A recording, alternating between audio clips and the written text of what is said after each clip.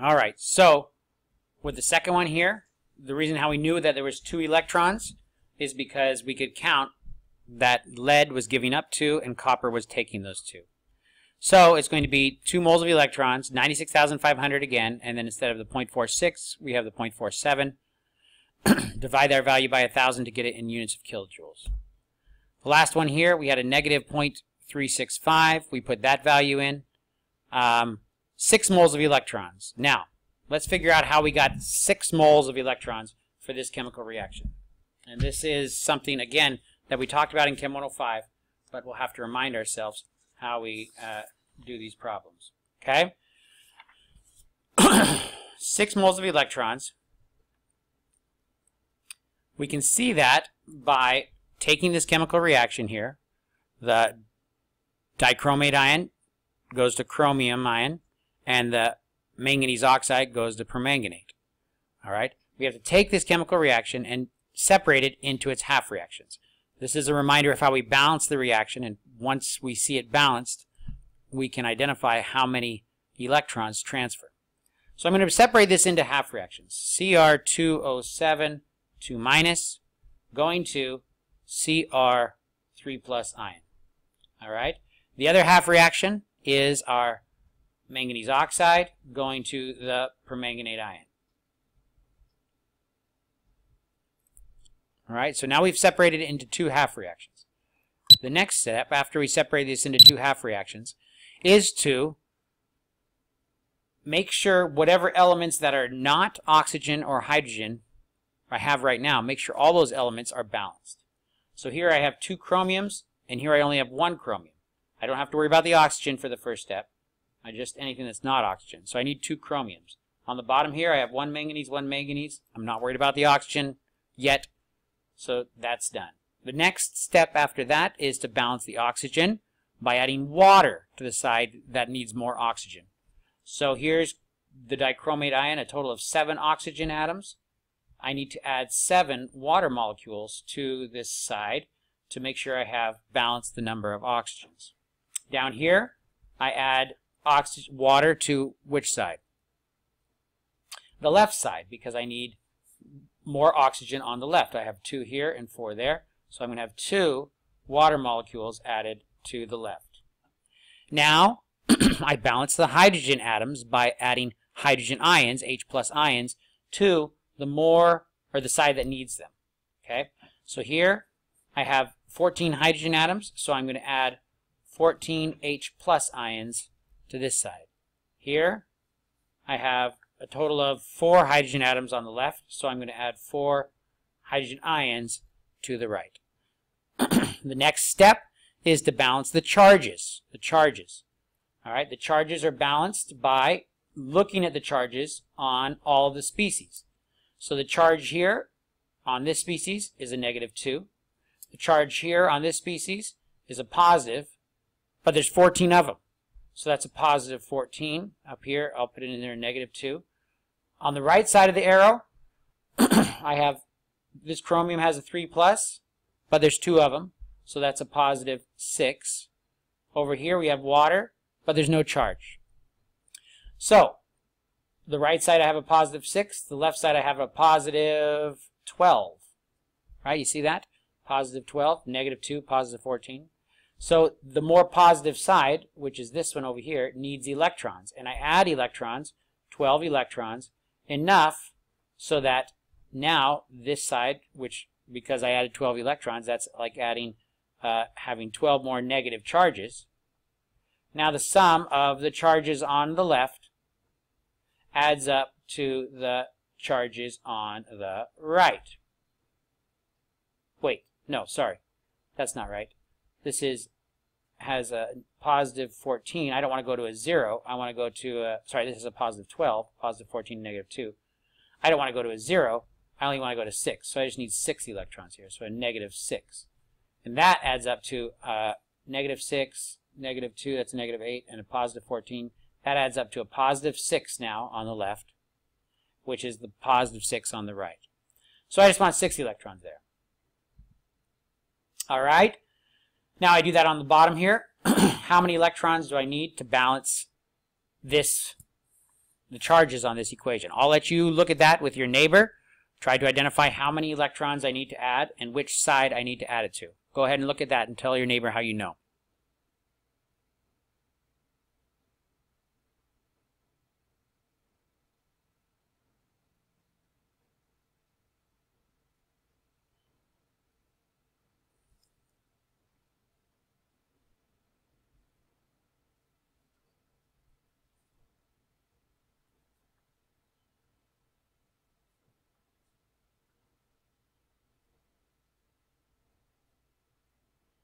All right, so it looks like on the left side there's nothing with charges, no charges. So the sum of the charges on the left is 0. On the right side, however, I have a negative 1 here, and I have a positive 4 there. So that's a sum of a positive 3. I have a positive 4 because there were 4 of these hydrogens, and each one had a positive charge. And this one had a negative 1. So a sum of positive 3 here, sum of 0 here. All right. So what do I need to do? I need to add electrons and try to balance this out. If I add three more electrons, it'll be balanced to the same as the left side there. So I add three electrons. Okay? Now I'm at a point where I can bring my two half reactions that have both been balanced by this method, which is called the ion electron method. I'm at a point now where I can add these two together. This is, is this an anodic reaction or a cathodic reaction? This top one. Well, I'm taking electrons and they're being added onto something. So this is a reduction reaction. Over here, I perform some process and electrons are released. So this is a, a oxidation. So this is an anodic reaction. So this is my anode. This is my cathode right? And the resulting process is going to be the sum of these two. But before I can add them together, I have to make sure that once they're added together, the electrons cancel out. So I'm going to have to multiply all of this by 2 so that the sum of these will drop out the electrons. But I don't need to go any further. I could go further, but I see here that the number of electrons transferred is going to be the 6. So that's where we got the 6 from. All right. So we need to practice a little bit balancing those reactions. I think there's going to be at least one, maybe two, where you need to balance or recognize a balanced redox reaction. Okay. Very good. Now,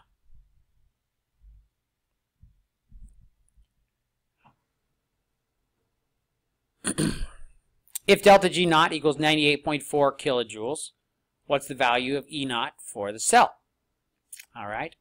Well, I know that the relationship between delta G and E cell is based on, whoops, number of electrons and the Faraday constant. Faraday constant, 96,500, that's going to be provided for you number of electrons. We'll have to figure that out here. E cell. Can I figure out what the voltage for cell is? Well, that's what I'm trying to, that's what I'm, I mean, I might be able to do it simply by looking at this uh, standard reduction ta table, reduction uh, table of reduction, standard reductions. But um, I've been given this as 98.4 kilojoules. I'm going to convert that to 98,400 joules right now because I know that this is going to be in joules per coulomb if it's in volts, right? Which I'm seeing it is here. All right, so I'm seeing it is, let me show you right here. There we go. I'm seeing it is here, right? These are in volts. So this is going to be in volts, which is joules per coulomb, so that has to be in joules. All right, so go ahead and solve that one. Whoops, I forgot the n. We have to, and we have to negative sign there. Don't forget that negative sign. So we got to find that n. So look at this equation. See if you can identify what the n is. Put it in there and then solve for this problem. And then when you're done, show your neighbor how you did it. Or if you don't know how, ask your neighbor.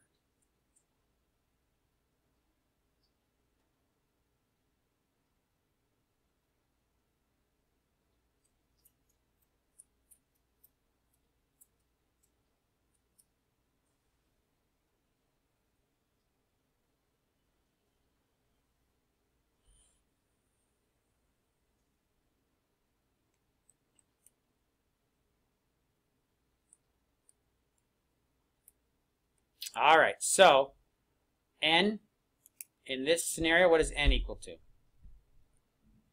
n equals 2. We can see that the copper is, again, taking two electrons here, and mercury, each one is losing two electrons. So n equals 2, 96,500. We're looking for this value here, 98,400 joules. So solving for x, hopefully we got 0.510. Okay? All right. Now, as we saw in the last chapter, delta G also relates to um, K. Delta G relates to K, right? So this is the equation that we just introduced, the relationship between delta G and the voltage of a cell. And delta G also, as seen in last chapter, relates to the equilibrium constant this way. Thus, we can compare E naught to K. All right.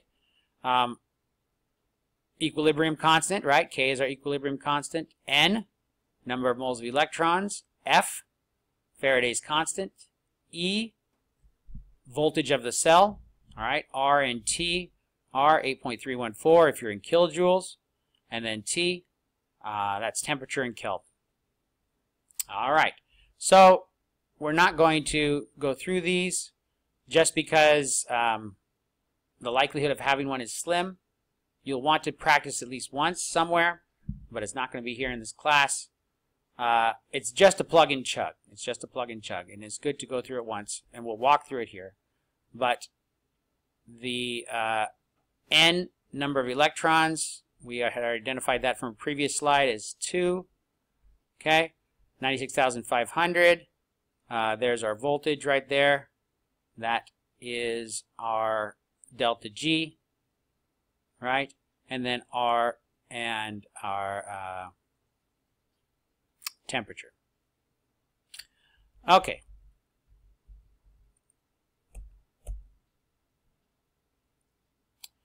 So,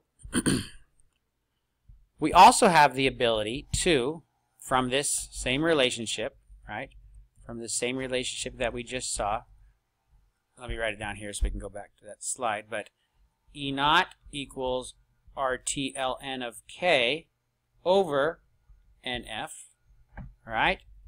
And let's look at this a little bit deeper here. We just see delta E, RTLN of K, that's delta G divided by NF, right? Okay, let's see, what are we missing? Uh, that's right, because delta G is negative RT ln of K.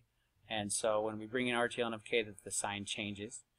All right, so we have this relationship here. And K could be expressed as Q if the concentrations aren't at standard conditions of reactants or products. And this can be rearranged to show you the voltage under non-standard conditions. So E naught here is the voltage under standard conditions. This is the accumulation of uh, all the constants. So if we express it where all those constants are combined together, we pull out the, the E in natural log and just make it regular log, right, and combine it into here as well. Then we have this new equation, which is an equation that would be provided for you, and it's the called the Nernst equation. The Nernst equation allows you to relate E, which is voltage under non-standard conditions, to E naught, which is which is voltage under standard conditions. All right, and then um, that is, or you know, there we got our constants, and then we have our log of Q, where Q is our quotient, and N is our number of electrons. All right, so that is our um, Nernst equation, again, identifying the potential from the standard redox potential. All right, so we're not going to work through any of these either.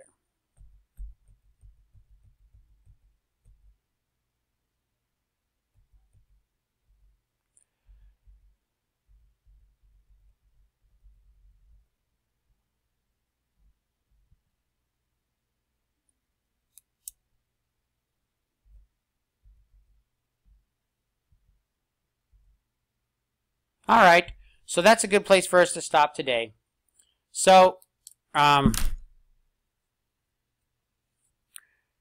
after this uh, electrochemistry chapter, we have one more chapter on nuclear chemistry, and we might be able to slide in another chapter on organic chemistry. Now, the reason we'd want to do that is because a lot of you are getting ready to take organic in the fall, and it would be good to have a little bit of preview. So um, there's a little bit of organic chemistry on the exams. Usually the amount of organic chemistry that's on the exams eh, we've gathered just through having to know the names of a, a handful of chemicals. But um, it could, could also be helpful for a couple of questions on the exam.